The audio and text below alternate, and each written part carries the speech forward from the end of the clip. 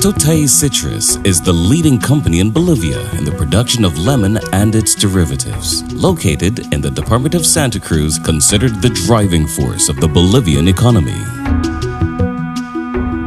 Following the CSR sustainability guidelines, Totaí Citrus is now a leader in the global market of fresh fruit and citrus derivatives. This due in no small part to our use of international agricultural best practices and cutting-edge technology. The result, today we can boast some of the highest standards of productivity and quality in the world.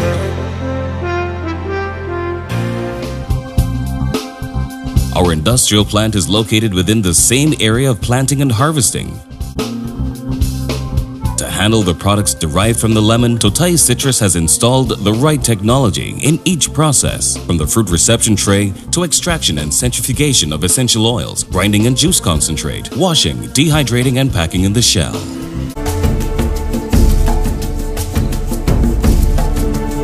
Totaí Citrus produces two types of fruit for the industry. From these, you get the essential oil, the concentrated juice and the dehydrated shell. The oil is extracted from the skin of the lemon using a cold system that produces an emulsion that is later centrifuged to obtain the pure oil. At the end of the cooling process, the oil is packed in drums, fully protected from light, air, and heat. This product extracted from the endocarp of the fruit and then concentrated to eliminate the residual water until reaching the commercial grade. Its concentration is in the order of 500 to 400 grams per liter and its content in centrifuged solids is adjustable to the needs of each client. Later, it is stored in double polyethylene bags of 100 to 120 microns placed inside metal drums with removable lids suitable for food packaging.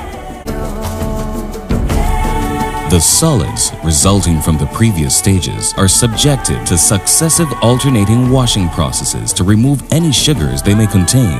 After a final pressing, it's on to our modern dehydration technology, the fluidized bed dryer. Totaí Citrus is the only Latin American citrus company that has this technology. It's possible to get a high quality shell with an optimum moisture level that ranges between 10 and 15 percent. The final product is later pressed into bales of 40 kilograms and conserved in a controlled environment until its dispatch.